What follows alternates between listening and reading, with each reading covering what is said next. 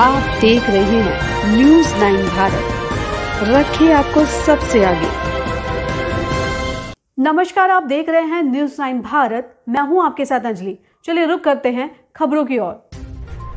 उत्तर प्रदेश के आगरा में आज देर रात एक धार्मिक स्थल को क्षतिग्रस्त कर दिया गया है। थाना लोहा मंडी से चंद कदम की दूरी पर बनी Paras pulse multi storey building के परिसर में धार्मिक स्थल बना हुआ था। पारस पल्स की लाइन अचानक रात में चली गई और पूरे परिसर में घंटों ठप अंधेरा हो गया। रात के अंधेरे में पारस पल्स के मुख्य गेट से प्रवेश करते ही बना धार्मिक स्थल क्षतिग्रस्त कर ज़मीन दोज कर दिया गया। धार्मिक स्थल तोड़ने की खबर वहाँ आस्था रखने वालों के बीच पहुँच गई। सैकड़ों लोग पारस के गेट के बाहर जमा हो गए और खुलकर विरोध करने लगे। विरोध करने वालों का लोगों का कहना है कि यह पारस मल्टी स्टोरी बनने से पहले मौजूद था। घटना की जानकारी चंद कदमों पर बने थाना लोहा मंडी पहुँची और पुलिस मौके पर आ गई। हालातों व परिस्थितियों को देखते हुए पुलिस के वायरलेस खटकने लगे और कई थानों के फोर्स में अधिकारी मौके पर आ गए। पुलिस ने गेट के बाहर खड़े है। विरोध करने वाले लोगों को थोड़ी दूर ले जाकर खड़ा कर दिया। देर रात है। खबर लिखे जाने तक पारस पर परिसर की बिजली गुल थी और पूरा इलाका अंधेरे में समाया हुआ है। पारस पल्स की आसपास किसी को भी जाने की इजाज़त नहीं है। मीडिया को भी पारस पल्स के गेट के अंदर जाने की इजाज़त नहीं दी गई। ये मामला आगरा से संवाददाता अर्जुन सिंह की रिपोर्ट।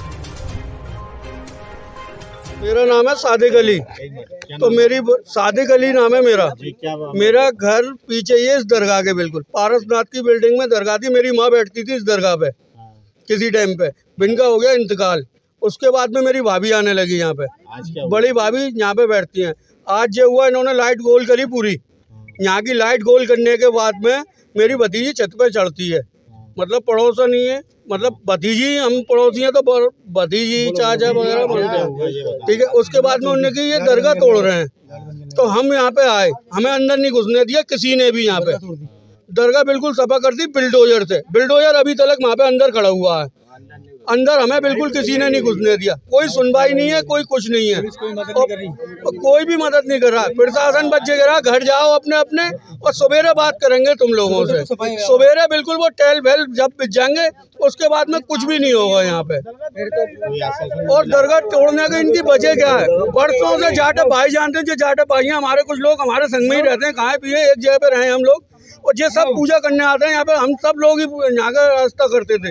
हिंदू भी मुस्लिम भी सब यहीं पे रास्ता करते थे। पर इन लोगों का रीजन क्या है? इसकी वजह क्या है? इन्होंने दरगाह क्यों तोड़ी?